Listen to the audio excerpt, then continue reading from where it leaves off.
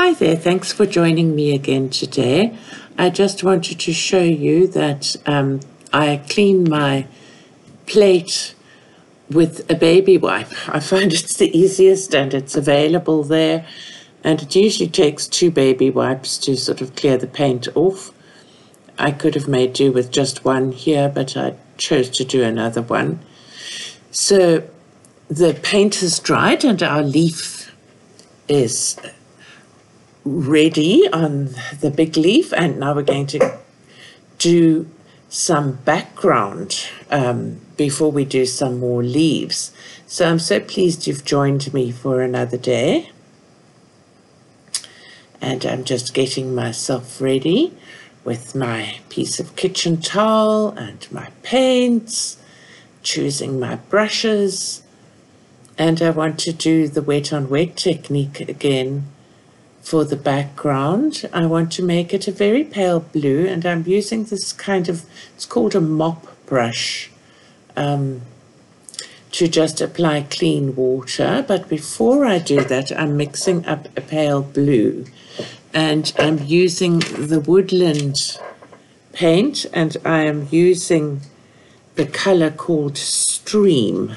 I'm sorry that you can't see it on screen. I've just brought it in now.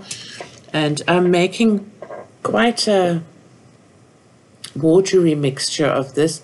I really love these Prima marketing paints, I must say. I would love to have all the sets. So I've just opened up Amazon affiliate marketing. So if you should choose to follow any of my links to any of the products I've used, then I'll get a few cents for anything that you should buy off my links, but it doesn't cost you one cent more. So it's a win win on both sides. And I'm planning if I do earn anything with my Amazon affiliate marketing, then I'm planning on trying to buy products for this channel so that I can share them with you. So I feel like it'll be a joint effort. So I'm doing exactly as I did with the leaf. I'm putting down water first, but I decided not to do the whole background with just plain water because it dried so quickly on the leaf. So I've just done this one little area and I've got that piece of plastic and the dirty spots you see are actually on the piece of plastic, not on the page. So I'm just adding this very watery pale blue stream color as a sky background. I don't want it to be smooth. I want it to just be sort of fluffy looking so that it resembles a sky. A sky, you get all so many different skies. They're quite wonderful things, aren't they? And uh, I thought that I want this to be sort of fluffy looking with sort of a few darker spots, a few paler spots, and just the look of the sky. So it's going on very easily with the background being wet. It's blending so nicely. That's a, a boon from having the wet on wet technique. You get that sort of blend. So now I'm rinsing the brush again and going to wet the next part of the background with plain water.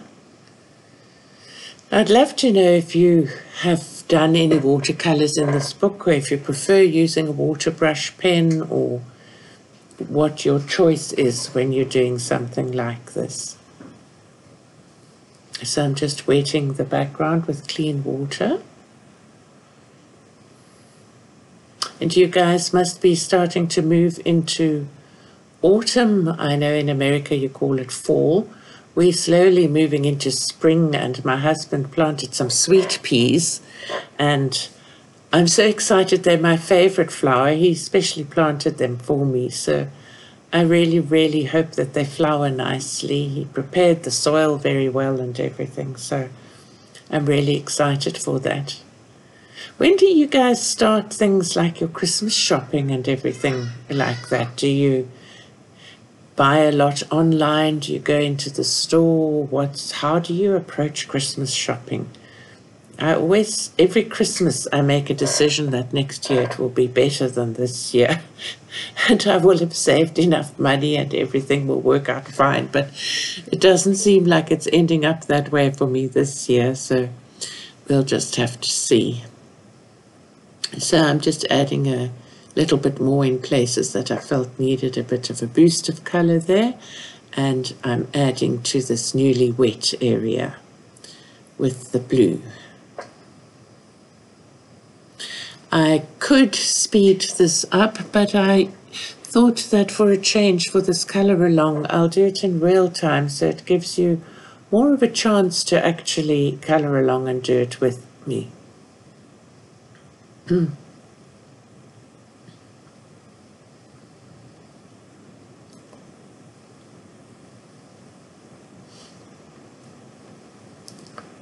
I think that for the rest of this background, I'm going to put on a little bit of music for you to listen to.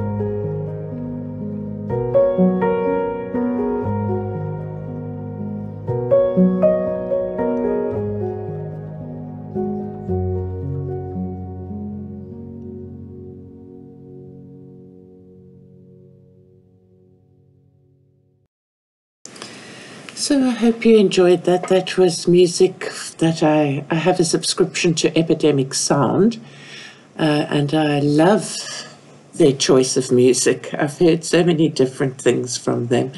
I fast forwarded or cut out a little bit of this here because it's all pretty much of a muchness. I've wet the background and am just filling it with this pale blue.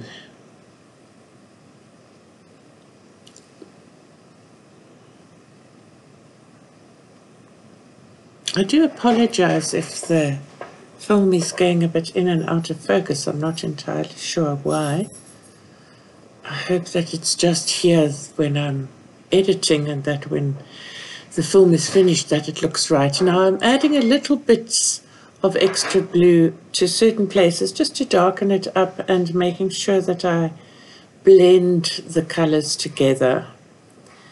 So now I'm cleaning no, I, decided not to clean the blue off there. There's very little left, and I'm going to add some green over the blue just to get a slightly blue-green for some of the other leaves.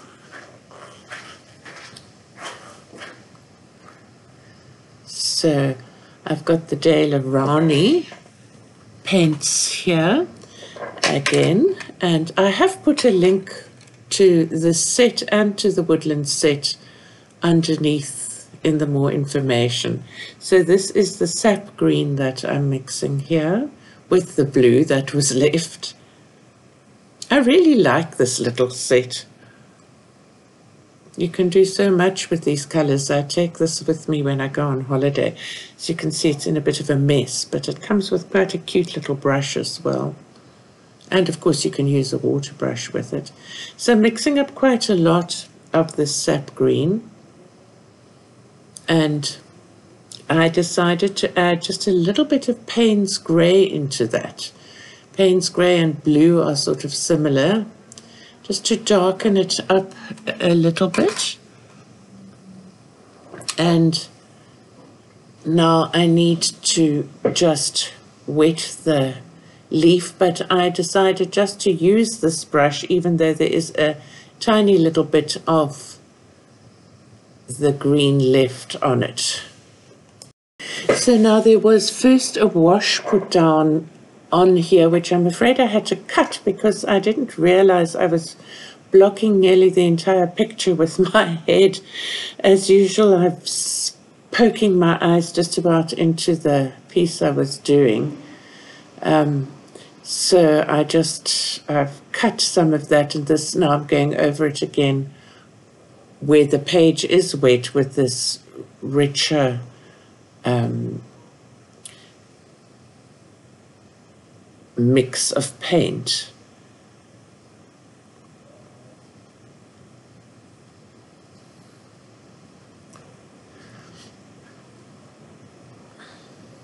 So I again want the middle a bit darker. Um, and then I decided I maybe want this edge a bit darker because it's it's in shadow. The other leaf, the, the big leaf is over it.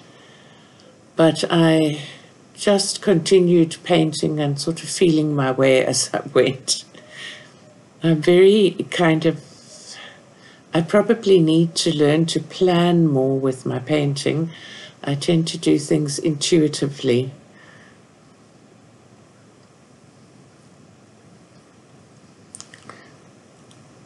And I decided to take some straight from the pan mix it and just have it dark and not watered down and hoping it will bleed out. You can see as it softens in the wet in the wet paper. I love that. I love I love it when watercolor does that and gone down the edges as well. And trying to sort of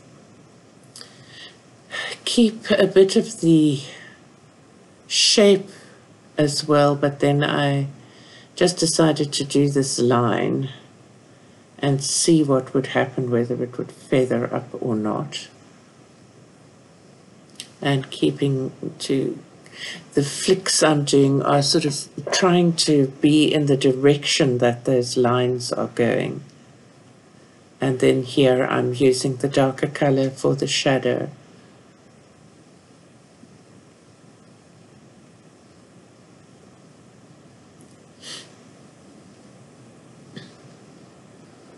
So I'd love to know from you guys, do you like these videos in real time or do you prefer them fast forwarded? Or do you like, as I'm doing, a little bit of both? Some things you fast forward and sometimes you do it in real time. So now there's three more bits of leaf. Um, as you can see, I sort of dried off the the water because I wanted to lift some of that paint up. Decided it was too much and then I want that to bleed out in itself and I wanted to kind of encourage the other side to move a bit more. I sometimes think one of the things one needs to learn when doing watercolor is to leave it alone and stop working it so much.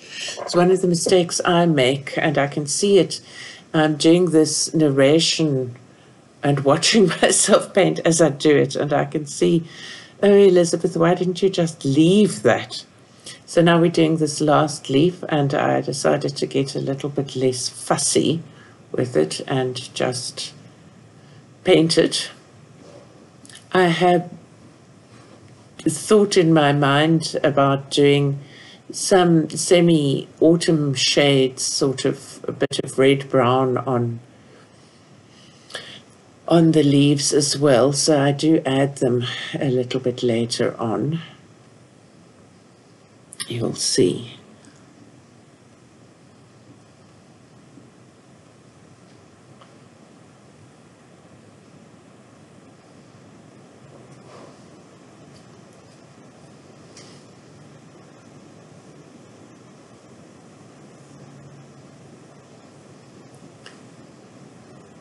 The page is curling up a little bit, so it's lucky that was dry.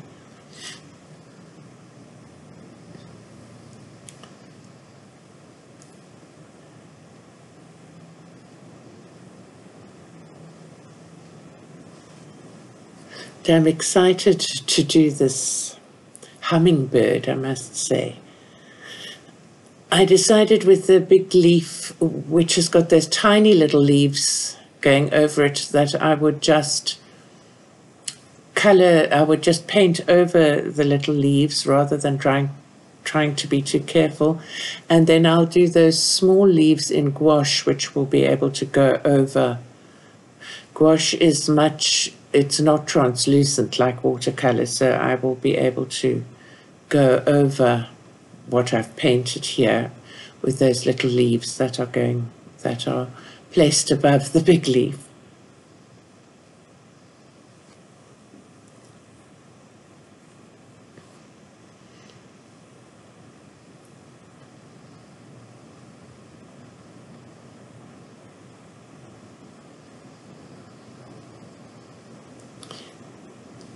So here I bring in some brown, which I used from the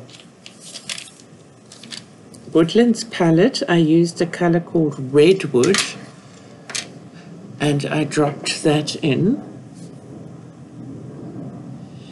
And then I decided I actually quite liked it, so I carried it through more. And decided to put some in there as well, just a hint of it.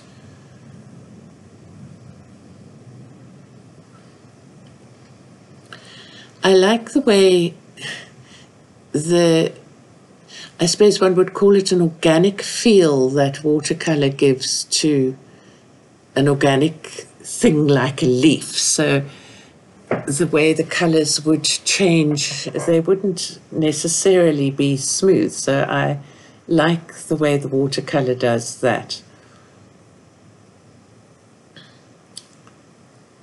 So as we're reaching the end of this colour along, I want to say thanks again very much to everybody for watching and thank you for subscribing to the channel and for your wonderful support and thanks so much to those of you that have been incredibly kind and given coffee donations. Um, I'm going to, in one of my videos soon, I've what I've done with the coffee donations is I've bought three Etsy uh, digital coloring packs or pictures and I'm going to download those and I'm going to show you what I got so that you can see what has happened to the money you've done to support the channel. It's wonderful of you to do that and I'm incredibly grateful. So I quite like how this has turned out, and um, of course it's nowhere near finished. Um, and I'll be back again tomorrow with the next one of the colour along, where I think I'll do the bark and the seeds or fruit or whatever those things are. Okay, thank you very, very, very much for watching, and I'll see you tomorrow. Bye bye now.